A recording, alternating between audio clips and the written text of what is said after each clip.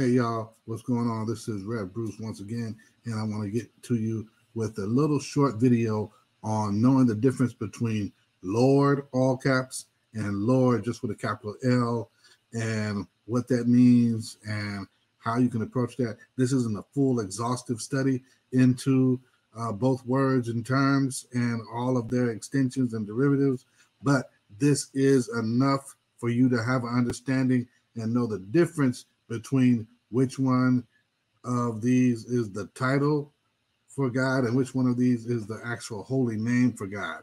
But they both have to do with God. So let's set this up. Let's make this right and let's do it right now.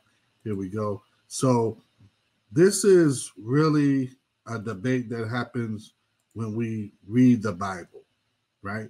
And so you're studying the Bible and you know you come across this, you see one with all caps, you see one um, that's in another passage that just says Lord, you know, with the uppercase L and the lowercase letters for the rest of the word. And even when you ask friends, they're not able to help you make sense of it. And that's part of the problem. So today's video is simply to explain um, a little breakdown between both Lord, as I said, all caps, and Lord with the capital L. Okay. And there's a difference. And so as we go forward, Lord with all caps um, refers to God's holy name, Yahweh. In Hebrew, there are no um, A's, E's, no vowels, right? So you're not going to see it the same way that it's um, put in Yahweh or even when it's seen as Jehovah. Um, you may see it as capital, uh, where the V in Hebrew is replaced with a W, um, where that's more of a phonetic replacement because of the sound Yahweh doesn't seem like it comes from a VH sound to us in English, but it does happen in Hebrew. There you go, little lesson right there. And basically, what that means is the one to be, the one existing. Um, just like it says, the great I am in Exodus 3 and 14. Well, that's about existing and having an existence. And guess what? When we read I am in Exodus 3 and 14, those are in all caps. So that's what we get as far as consistency in the Bible. Um, it does translate by word definition to Adonai, um, which simply means Lord or Master. And you'll see it appear in the Bible in the places where God's holy name is spoken, but the scribes of the Bible um, elected to not write his holy name because his name is holy. So you have that there, right? Um, Lord in the other form, right, is utilized with an article, right?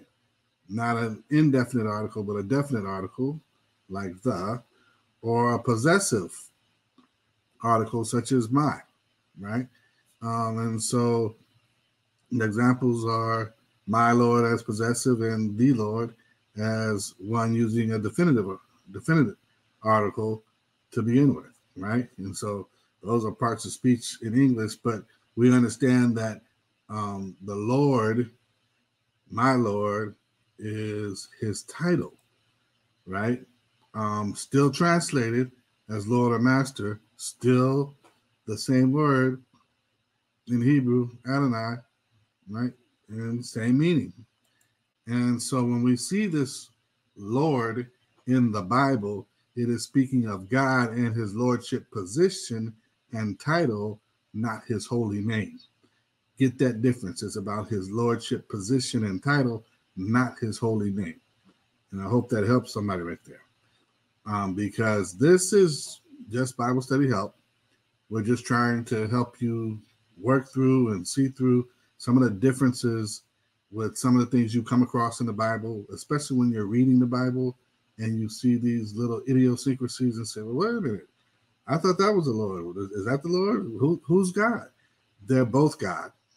They're just both different ways of addressing God. It's the same thing that I'll talk about at another time about Jesus Christ. Um, Jesus is his name, Christ is his title. He's really Jesus the Christ. Remember in Acts, it says they never stopped or ceased preaching that Jesus was the Christ. That means that Jesus, right, the name has the title Christ. It'd be like Jesus Messiah. It's Jesus the Messiah. It's Jesus the Anointed One. It's Jesus the Christ. Okay. And so keep that in mind. They're both God. They're just God from his name and God from his title and position. Two different ways of looking at it, still using the same word in a different format.